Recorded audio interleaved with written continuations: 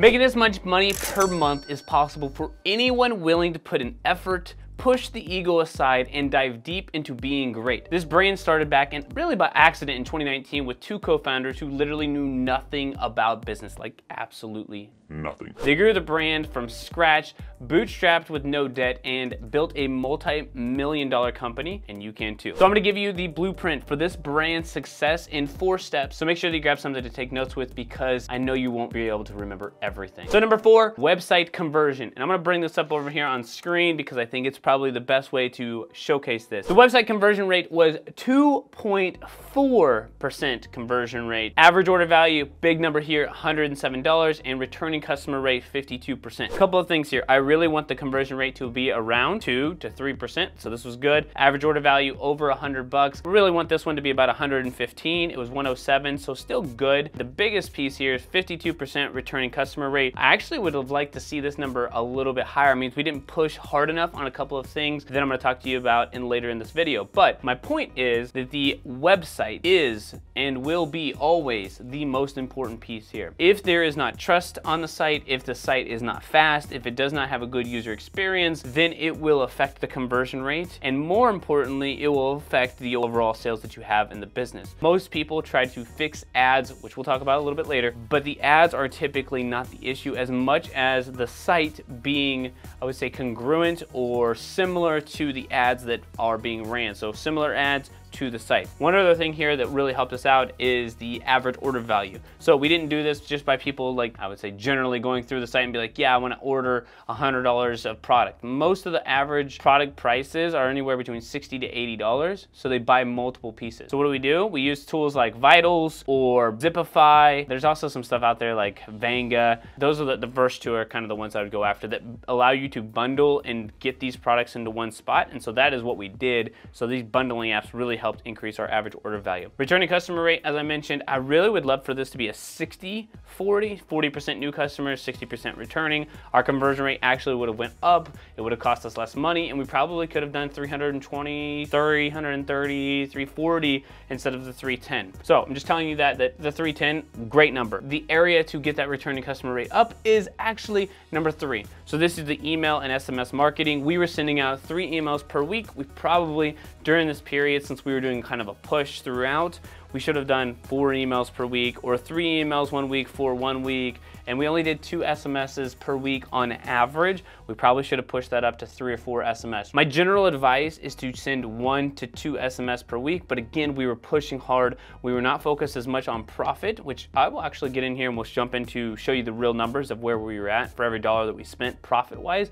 We're actually in a pretty good spot, but we were not worried about profit as much. We were actually trying to scale, so we should have done two more SMSs per week on average, and that would have helped the returning customer rate and would have gotten us another 30,000 plus dollars and ultimately grew a little bit faster. So a couple of things we would have done um, and things that we're implementing for September. There's always opportunity to grow. The other thing is retention. I'll go to the site here just so you know what it is. There's also a uh, link in the description down below. Retention, uh, basically it's legal but seems illegal. If you wanna go to a speakeasy, it's like the, the after party that nobody really tells you about. Retention is a very cool, powerful software. What it allows us to do is collect more emails and phone numbers from people who would have been to the site but never gave us their email or phone number. Turns out, without getting into legal jargon, the United States, even California, is an opt-out state, not an opt-in state throughout the United States. So go check it out. They have a whole space on here about their legal actions and you can see if it makes sense for you, but it was a big game changer for us. We added a lot of emails and SMS and that is what attributed to a ton of sales. I actually pull up total sales here and you can actually see where we were at. I think it was around 20 to 30%. I really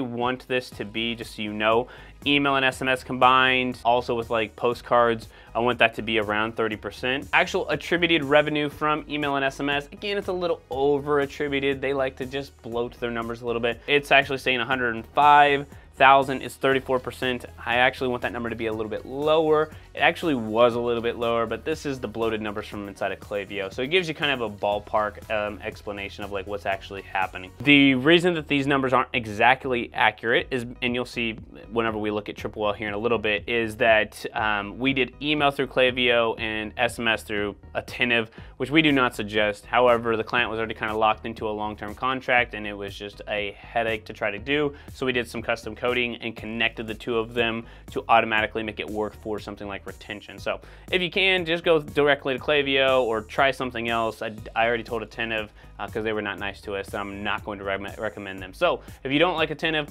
find somebody else like Klaviyo or PostScript.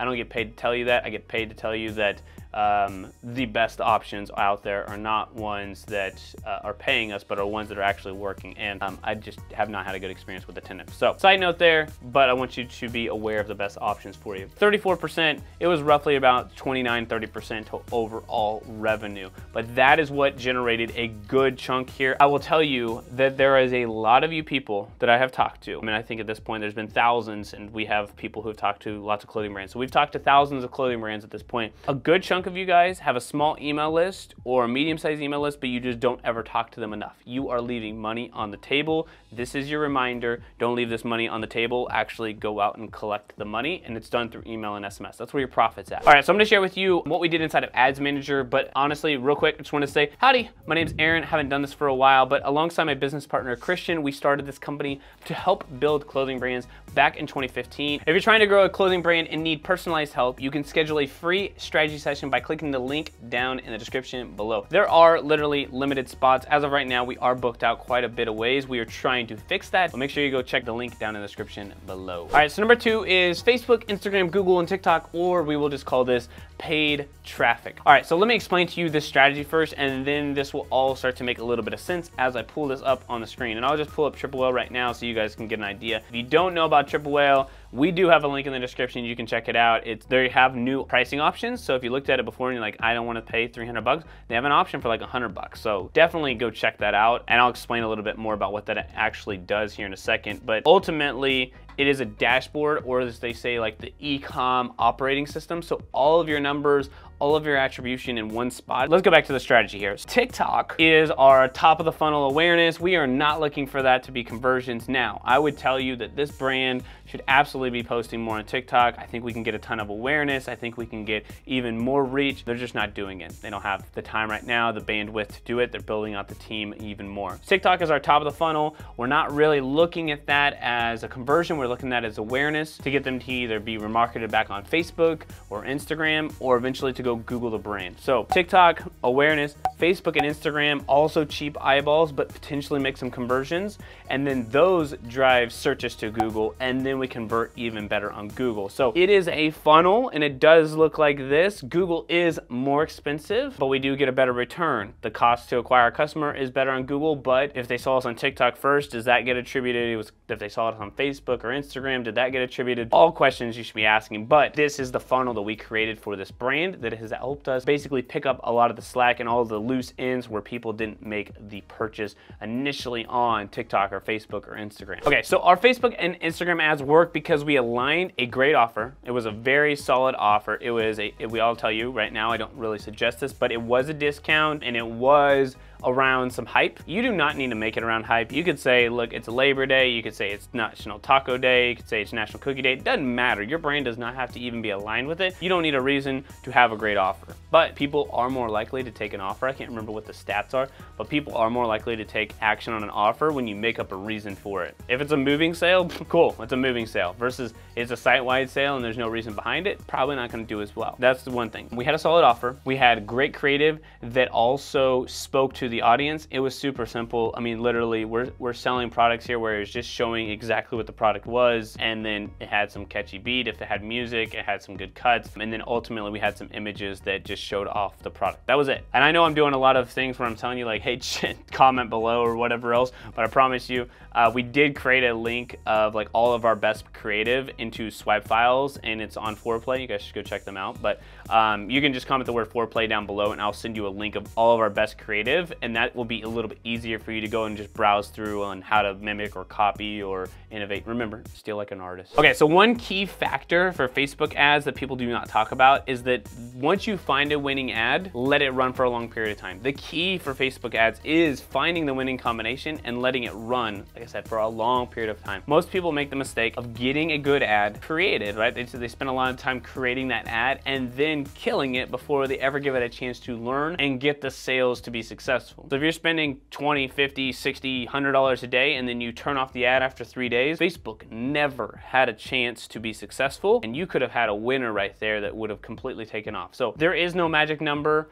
on how long you should run the ad but whatever it is, push it farther than what you're thinking because the two to three days, not a good option. Minimum, I would look at it as like 10 day window. In this 10 days, did it improve or is it going down? If it's dying, then just kill it and go find something new. But please don't cut it off after three days. It is very difficult to see because we never really get a chance to actually gauge whether the ad was successful or not because it's cut off too early. Let me show you inside of Triple Whale real quick and I can give you the story behind the paid ads real quickly. So new subscribed, our return on ad spend was 59. That was awesome. New customer ROAS was 22. Profitability was pretty high. Our blended cost per acquisition was two bucks. New customer acquisition was $5. Looks like great numbers here, okay? I'm not denying that at all. These are like astronomically good numbers. Um, you are not going to get them all of the time. But what's gonna load here is the pixel, and this is our paid traffic. Something that we don't really talk about a lot, but I think I'm going to do a video on, you should check it out in the future, is our blended return on ad spend. Meaning for every dollar that I spend, how much do I make in return? I don't care how much it is on ads, but I do care about how it is across the board, across organic, UGC, influencers. How much did I spend to get the ROI in the business? Right here, organic and social, we had um, this is also linear all, which means that like it's giving a small percentage based off of like where the sale actually came from. Um, as you can see here, Facebook had $57,000 um, in conversion value. Said we had a 0.7. Um, if we actually switch this to do like triple, triple attribution, which means that it like counts if anybody saw the ad, we're at a 1.6 total return is a 9.5 but I like to actually do it where I give smaller credits to where people found um, the ad and or where they saw something. And so then we can actually see the return for the actual brand as a whole like where did it happen? So organic we had 1200 purchases Organic could be stories, could be Facebook, could be Instagram, could be TikTok organic, doesn't matter. What you'll see a lot of these purchases too is that there is overlap between Facebook and Klaviyo and Attentive and wherever else, which is why I'm like, look, we're just looking at a blended return. How much do we spend? How much do we make? Which I'll show you here in a second. But Facebook was at a 0.7. Some would say that's really, really low. Well, it, it, it is. Absolutely it is but is not the true full picture here because Facebook reached a lot of people to get them into our ecosystem to actually make the, the sales happen. So Klaviyo,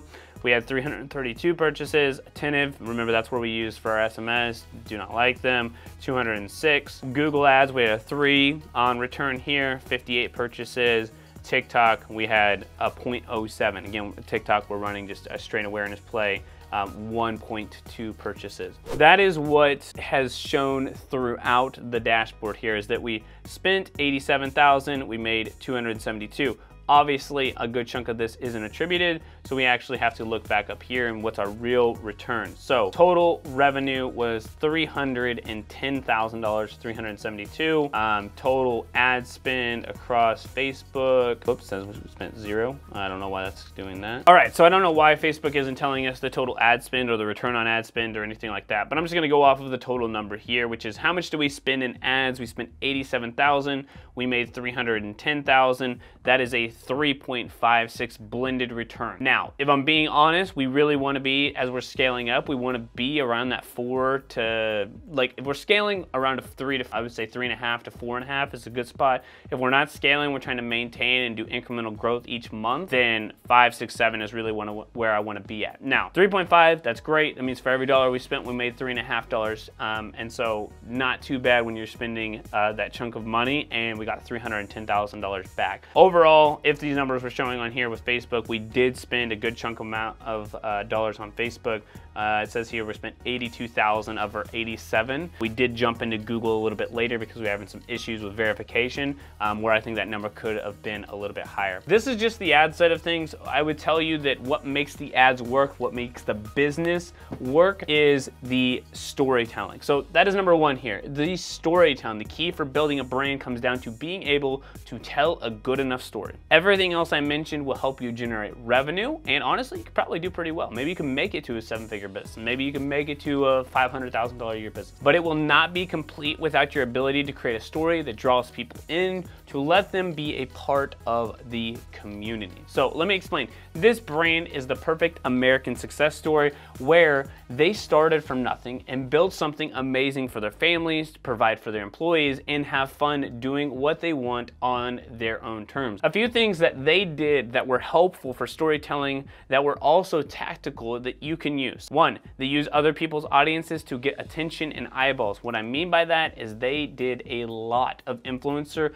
outreach and then they found the best influencers for them, partnered with them, and created collabs. They got a lot of attention, took a lot of those other people's eyeballs, told their story, and then created awareness. They gave back to their community and causes that they support. Who does not give back to things that they support when they have money? Literally goes back to the age old adage if you are part of a church, most people give money to their church if they have it because that's something that they believe in. If they have a kid on a sports team, if they believe in the sports team, they're going to give money. So if you have something that you believe in, tell people about that, create that community because there is a good chunk of people who actually believe in that cause and want to support you as well. So when you do those things, it helps them draw you into a story. Now, the last piece here is that they show up each and every day on Instagram stories and share their insight into their lives. People feel like they know them. If you feel like you know somebody, there's already a level of trust. And so when they offer you something then you are much more likely to take action. For those of you who've been watching this channel for a while,